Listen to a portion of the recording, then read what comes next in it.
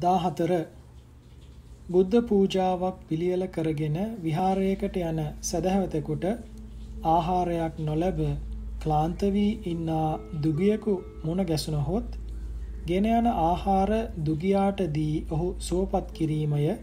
ඔහු ගැන නොසලකා ඒ ආහාර විහාරයට ගෙන ගොස් පූජා කිරීමය යන මේ දෙකින් වඩා හොඳ කුමක්ද?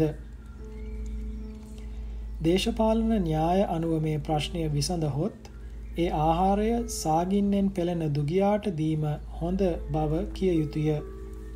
බුදුනට පූජාවක් කරන පින්වතා එය කරන්නට බලාපොරොත්තු වන්නේ තමාගේ අනාගත සැපය සඳහා පින කර ගැනීමටය.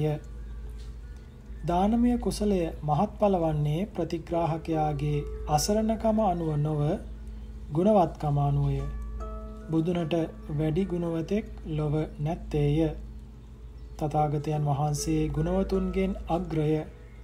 වැදුම් පිදුම් කළ යුත්තන් අතරින් තථාගතයන් වහන්සේම අග්‍රවනසේක. නයිමස්මින් ලෝකේ පරස්මින් වාපන බුද්දේන සෙට්ඨෝ සදිසෝව විජ්ජති යමාහු නෙය්‍යානං අග්ගතං ගතෝ පුඤ්ඤත්තිකානං විපුල ඵලේසිනං තේරුම මේ ලෝකයේ හෝ අන් ලෝකයක බුදුන් වහන්සේට ශ්‍රේෂ්ඨයෙක් හෝ සමාන වන්නෙක් හෝ නැත. පින් කැමති වන්නා වූ මහත්ඵලයේ සොයා යන්නා වූ තනත්තන් විසින් පිදීමට සුදුස්සන් අතුරෙන් ඒ තථාගතයන් වහන්සේ අගතැන්පත් වූසේක යනු එහි තේරුමයි. දුගියාට දීමෙන් වන කුසලයට වඩා සිය දහස් ගුණයෙන් මහත්ඵලය වන පිනක් බුද්ධ පූජාව කිරීමෙන් ලැබෙයි.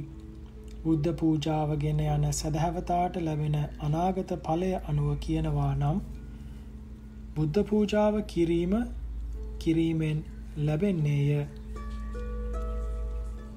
බුද්ධ පූජාව ගෙන යන සදහැවතාට ලැබෙන අනාගත ඵලය අනුව කියනවා නම් බුද්ධ පූජාව කිරීම යහපත් බව කිය යුතුය.